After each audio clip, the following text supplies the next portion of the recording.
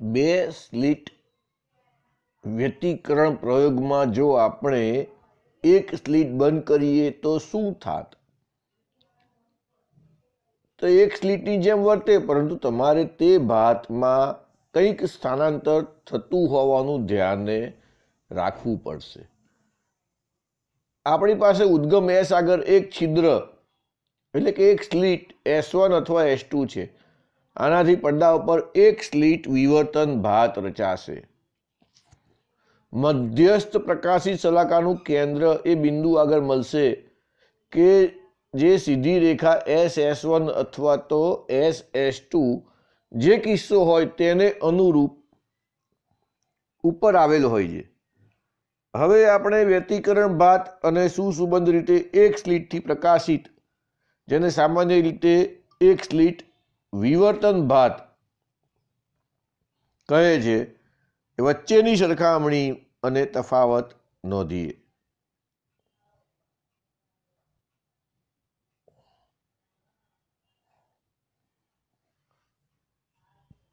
વ્યતિકરણ ભાતમાં એકબીજાથી સરખા અંતરે રહેલ ઘણા પ્રકાશિત અપ્રકાશિત પટ્ટાઓ રહેલ હોય છે. વિવર્તન ભાતમાં એક મધ્યસ્થ પ્રકાશિત હોય, તેજસ્વી, એકદમ મહત્તમ, અધિકતમ હોય, કે જે બીજા અધિકતમો કરતા લગભગ બમણી પહોળાઈનું હોય. અને આપણે કેન્દ્રથી બંને બાજુ ક્રમશઃ આવતા મહત્તમો તરફ જઈએ, તેમ તીવ્રતા ઘટતી જાય.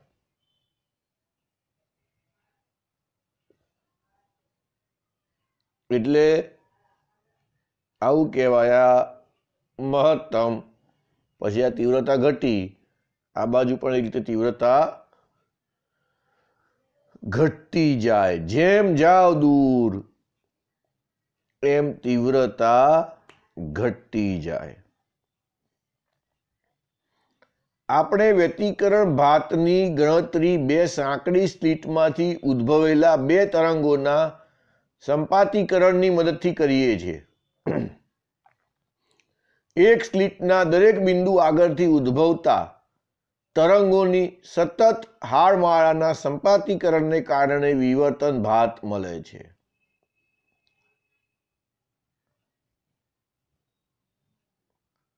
એ પહોળાઈની એક સ્લિટ માટે વ્યતિકરણ ભાતમાં પ્રથમ શૂન્ય એ લેમડા બાય એ જેટલા કોણે મળે છે આ જ લેમડા બાય એ કોણે એ અંતરે છૂટી પાડેલ બે પાંત્રીસ લીટ માટે આપણને મહત્તમ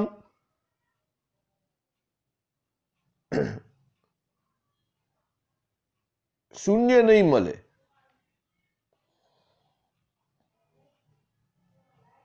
એટલે કે લેમડા બાય એ કોણે એ અંતરે છૂટી પાડેલ બે પાંત્રીસ લીટ માટે આપણને મહત્તમ મળે છે.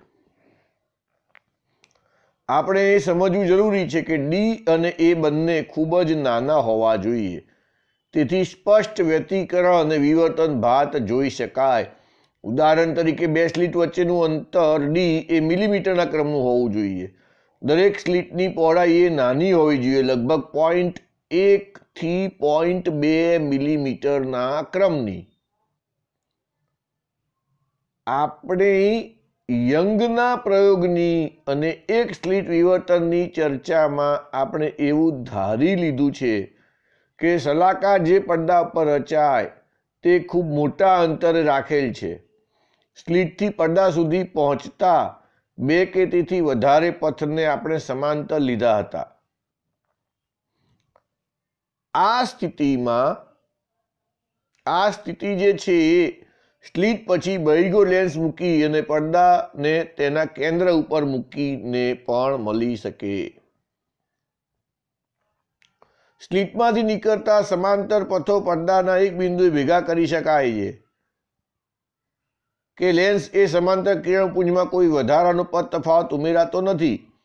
આ રચના ઘણી વખત ઉપયોગમાં લેવામાં આવે છે, કારણ કે પડદાને દૂર મૂકવા કરતાં આ કિસ્સામાં તીવ્રતા વધારે મળે છે. જો લેન્સની કેન્દ્ર લંબાઈ એફ હોય તો આપણે સહેલાઈથી મધ્યસ્થ અધિકતમની પહોળાઈ ગણી શકીએ. ખૂણાના સંદર્ભમાં વિવર્તન ભાતમાં મધ્યસ્થ અધિકતમ અને પ્રથમ શૂન્ય વચ્ચેનું અંતર લેમડા બાય એ થશે. અને પડદા પરની પહોળાઈ એફ લેમડા બાય એ થશે. એફ લેમડા બાય એ થશે.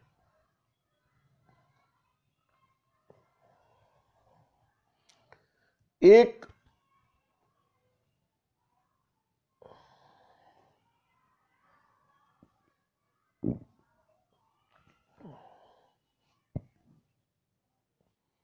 એક સ્લિટ વિવર્તન ભાતને જોઈ આપણી જાતે એક સ્લીટ વિવર્તન ભાત જોવી ખૂબ જ સરળ છે.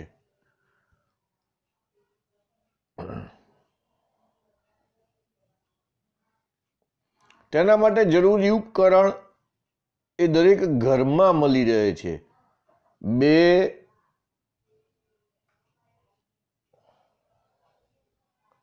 રેઝર બ્લેડ અને શક્ય હોય તો તેમાં સીધો ફિલામેન્ટ આવેલો હોય. તેવો એક પારદર્શક કાચનો બલ્બ. બે બ્લેડને એવી રીતે જકડી રાખો, પકડી રાખો કે તેની ધાર એકબીજાને સમાંતર રહે અને તેની વચ્ચે એક પાતળી સ્લીટ રચાય. આ અંગૂઠાને આંગ, આગળની આંગળીઓની મદદથી સહેલાઈથી કરી શકાય. જે આપણને બાજુની આકૃતિમાં દર્શાવેલું એક સ્લીટ બે બ્લેડને પકડીને એક સ્લીટ બનાવી બલ્બના ફિલામેન્ટને આમાંથી જોતા સ્પષ્ટ વિવર્તન પટ્ટાઓ જોવા મળે. સ્લીટને ફિલામેન્ટની સમાંતર બરાબર આંખની સામે રાખવાનું. જો તમે ચશ્મા પહેરતા હો તો પહેરી લો. સ્લીટની પહોળાઈમાં અને સમાંતરપણામાં થોડોક ફેરફાર કરો. જો તમને પ્રકાશિત અને અપ્રકાશિત પટ્ટાના સ્વરૂપમાં ભાત દેખાશે, બધા જ પટ્ટાનું સ્થાન મધ્યસ્થ સિવાય તરંગ લંબાઈ ઉપર આધારિત હોવાથી તેમાં અમુક રંગો દેખાશે. રાતા અને વાદળી એટલે બ્લુ માટે ફિલ્ટર વાપરવાથી સલાકાઓને સ્પષ્ટ રીતે જોઈ શકાય છે. બંને ફિલ્ટરો સહેલાઈથી ઉપલબ્ધ હોવાથી રાતા રંગની સલાકાની પહોળાઈ વાદળી રંગ કરતાં વધારે હોય તે જોઈ શકાય છે.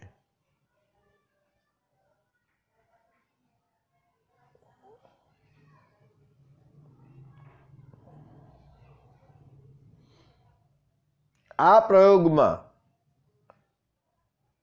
ફિલામેન્ટ એ આકૃતિ દસ પોઈન્ટ સોળમાં દર્શાવેલ પ્રથમ સ્લિટ એસનો ભાગ ભજવે છે અને આંખનો લેન્સ ભાતને પડદા એટલે કે આંખના રેટિના ઉપર કેન્દ્રિત કરે છે. થોડાક પ્રયત્નોથી બ્લેડની મદદથી એલ્યુમિનિયમના વરખમાં બે સ્લીટ કાપી શકાય. અગાઉની જેમ બલ્બના ફિલામેન્ટને જોઈ યજ્ઞ પ્રયોગનું પુનરાવર્તન કરી શકાય. દિવસના પ્રકાશના રૂપમાં આંખ સાથે નાનો કોણ રચતો હોય તે રીતે આપણને બીજો એક યોગ્ય અને પ્રકાશિત ઉદ્ગમ ઉપલબ્ધ છે.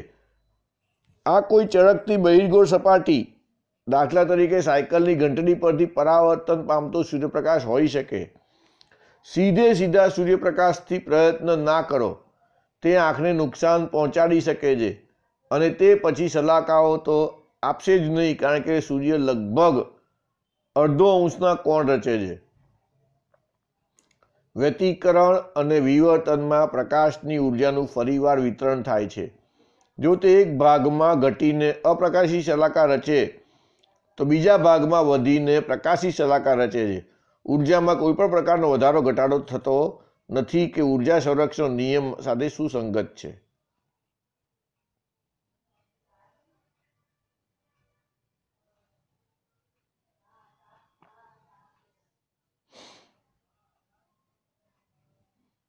કિરણ પ્રકાશશાસ્ત્ર કેટલે સુધી લાગુ પાડી શકાય?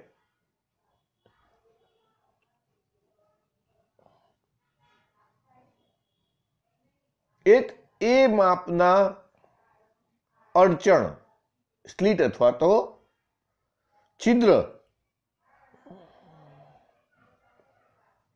ને સમાંતર કિરણપુંજ વડે પ્રકાશિત કરવામાં આવતા લગભગ લેમડા બાય એક જેટલા કોણે વિવર્તિત પ્રકાશ મોકલે છે.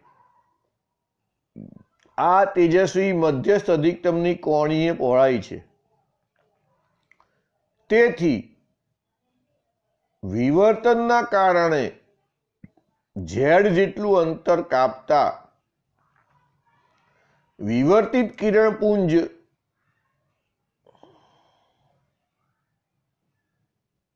Z into lambda by A જેટલી. Z into lambda by A જેટલી પહોળાઈ ધારણ કરશે. ઝેડના કયા મૂલ્ય માટે વિવર્તનને કારણે કિરણપુંજનો થતો ફેલાવો અડચણના માપ એ સાથે સરખાવી શકાય તેટલો થશે. આમ ઝેડ લેમડા બાય એને એના લગભગ બરાબર ગણી શકાય. આ એવું અંતર આપશે કે જેનાથી આગળ એ પહોળાઈ ધરાવતા કિરણપુંજમાં થતો ફેલાવો અગત્યનો થશે. અને તેથી ઝેડ બરાબર એ સ્ક્વેર અપોન લેમડા આપણે નીચેના સમીકરણથી વ્યાખ્યાયિત કરાતી રાશિને ફેનલ લંબાઈ ઝેડ એફ કહીશું. તો ઝેડ એફ બરાબર A square upon lambda, Fresnel લંબાઈ. એટલે ઝડપથી ખૂબ ઓછા અંતર માટે વિવર્તનને કારણે થતો ફેલાવો એ કિરણપુંજીની જાડાઈ કરતાં ઓછો હોય છે. જ્યારે અંતર લગભગ ઝડપ જેટલું થશે ત્યારે તે સરખાવી શકાય તેવું થશે. અને ઝડપથી ખૂબ મોટા અંતર માટે વિવર્તનને કારણે ફેલાવો કિરણ પ્રકાશશાસ્ત્રથી થતા ફેલાવા પર પ્રભાવી છે એટલે સમીકરણ એ પણ દર્શાવે છે કે કિરણ પ્રકાશશાસ્ત્ર તરંગ લંબાઈના શૂન્ય તરફ લક્ષ માટે સાચું છે.